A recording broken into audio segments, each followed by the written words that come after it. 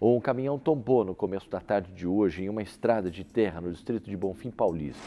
O motorista teria perdido o controle da direção. Ele sofreu ferimentos e foi levado para um hospital. Veja. Uma ambulância levou o motorista para um hospital.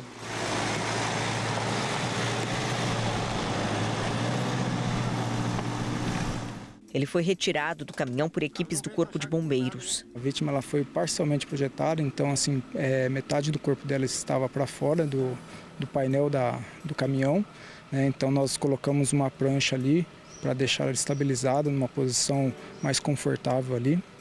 É, depois fizemos a remoção do teto da, do, do caminhão né? e assim nós fomos tirando aí partes por partes da, da, do painel, do volante, do banco, até que a gente conseguisse tirar as peças que estavam é, retendo a vítima e liberando o seu acesso. O caminhão carregado com terra ficou tombado. O acidente aconteceu em uma estrada que dá acesso ao distrito de Bonfim Paulista. O tenente explicou que, apesar de ter parte do corpo arremessado para fora do veículo, o motorista estava bem. Por incrível que pareça, na análise ali do grau, né, com análise médica, enfermeiro, é, não, não detectaram nenhum tipo de fratura. Teve sorte, né? Sim, apenas os membros inferiores estavam retidos, né?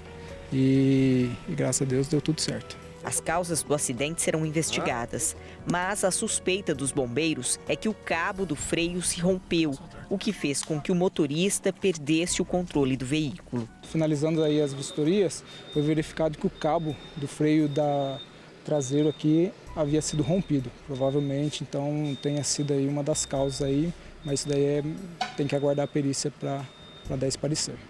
É, o bombeiro nunca vai afirmar, né? Porque tecnicamente a perícia que tem que é, dar o veredito do que realmente aconteceu, oficializar isso né, de uma forma para que a polícia possa encerrar esse inquérito. Mas há uma grande possibilidade disso ter ocorrido. Estourou o cano, fica sem freio, o motorista tem que fazer alguma coisa. Né?